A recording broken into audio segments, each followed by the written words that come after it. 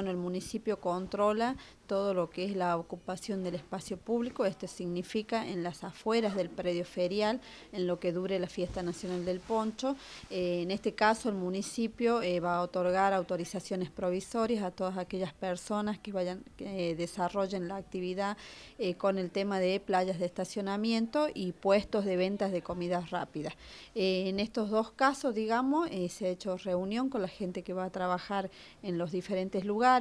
y se les ha hecho saber que va a haber un trabajo en conjunto con inspección laboral para evitar el trabajo infantil y el trabajo adolescente. Eh, desde ya nosotros nos guiamos con eh, las pautas, digamos, que nos da la Dirección de Inspección Laboral, en este caso específicamente, y nosotros vamos a colaborar en el sentido de que si la Dirección de Inspección Laboral detecta alguna de estas situaciones, la Inspección General va a retirar automáticamente